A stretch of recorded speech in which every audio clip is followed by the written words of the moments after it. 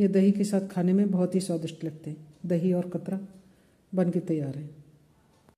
हम बना रहे हैं सिंगाड़े के कतरा, व्रत वाले। ये सिंगाड़ी का आटा लिया है। हमने मैं इसको अच्छे से छल्ली में डाल के छान लेती हूँ। मैंने ये सिंगाड़ी के आटे को छान लिया है। अब मैं बिना घी के इसे हल्का हल्का भून लेती हूँ, जिससे इसका कच्चापन निकल जाए। ये हल्का हल्का भून चुका है। अब मैं इसको, गैस को बंद कर देती हूँ। मैं अब इस सिंगाड़ी के आटे को ठंडा होने के लिए रख देती हूँ। अगर गर्म पानी, गर्म में ही अगर पानी डालेंगे तो इसमें गांठे बन जाएँगे। इसलिए मैं इसको पहले ठंडा करती हूँ, उसके बाद इसका घोल बनाऊँगी। अब मैं कढ़ाई में एक बड़ा चम्मच ये घी डाल लेती हूँ।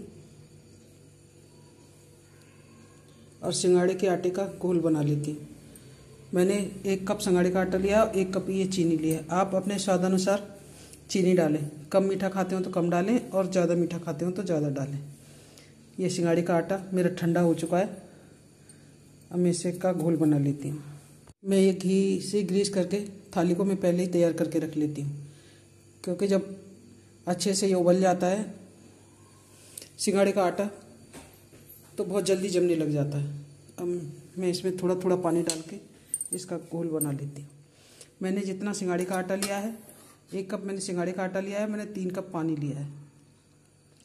थोड़ा थोड़ा करके मैं घोल बनाती सिंगाड़े के आटे को मैंने अच्छे से घोल लिया है। ध्यान रहे कि इसमें कोई गांठें नहीं होनी चाहिए। मैंने एक कप के लिए, एक कप सिंगाड़े के लिए तीन कप पानी लिया है। एक कप चीनी ली है। ये मैंने घोल डाल दिया है इसमें। मैं ये चीनी भी डाल देती हूँ। अब मैं गैस ऑन करती हूँ। मैंने ये घोल गैस बंद करके डाला है। क्योंकि डालते ही ये गाढ़ा होने लग जाता है अब मैंने गैस जला दी है। अब इसे लगातार चलाती रहूँगी।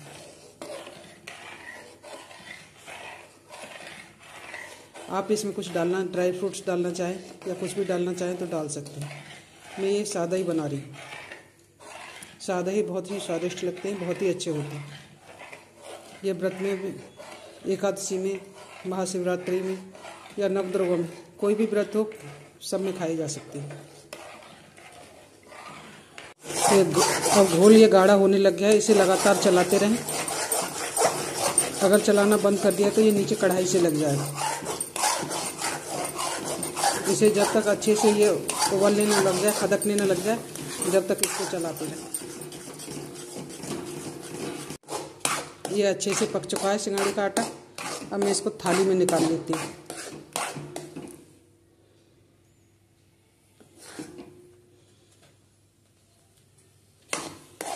ये थाली मैंने पहले ग्रीस करके रख ली है, इसमें निकाल लेती मैंने इसमें एक बड़ा चम्मच घी डाला था।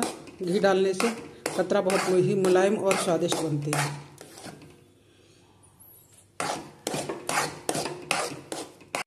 मैंने ये अब थाली में निकाल लिया, इसको पूरी थाली में फैला देती हूँ।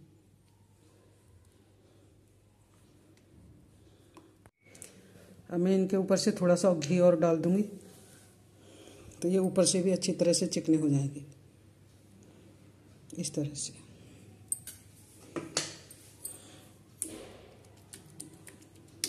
इनको फैलाने में भी आसानी होगी। ये चम्मच से नहीं चिपकेंगे, घी लगा होगा तो। इस तरह से इनको पतली पतली फैला दें। ये सिंगाड़ी के कतरा बन के तैयार हैं। ये ठंडे हो गए मैंने काट लिए हैं। आप जैसे काटना चाहो वैसे काट लो। मैंने इस शेप में काटे हैं। कतली जैसे, जो काजू कतली होती हैं, उस तरह से।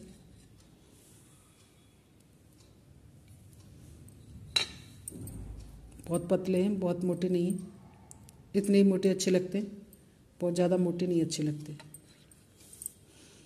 ये खाने में बहुत स्वादिष्ट होते हैं। ये दही के साथ खाओ तो बहुत अच्छे लगते हैं। ये कतला बन के तैयार है, सिंगाड़ी के।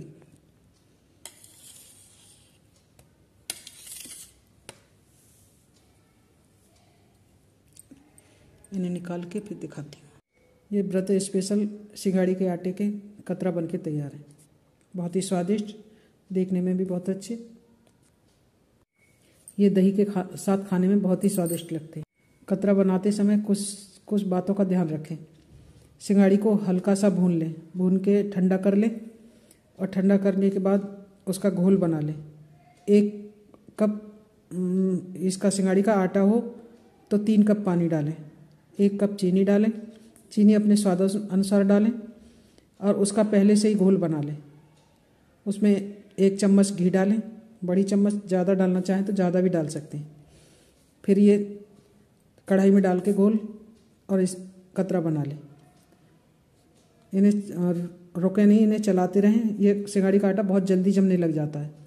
इसलिए इसको बराबर चलाते रहें और सिंगाड़ी के कतरा बन के तैयार हो जाते हैं।